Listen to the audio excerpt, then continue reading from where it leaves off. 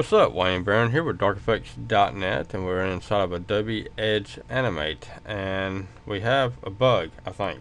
I'm not really sure exactly what to call this, but it does happen and I just figured out how to work around it. So I'm going to try to reduplicate it and so that you can actually see what I'm referring to. And what it is is that whenever you rename your elements here, you double click on them and as you see it disappeared on me on each one of them except for that one didn't go nowhere so you just gotta click it just right and it'll disappear.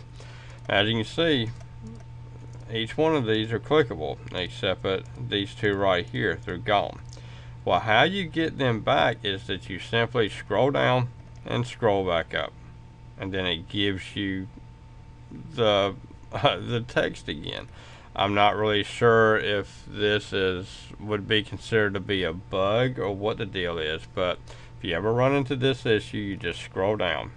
So let's try, this one's going to be an I. Let's see. Yep, there it goes. N.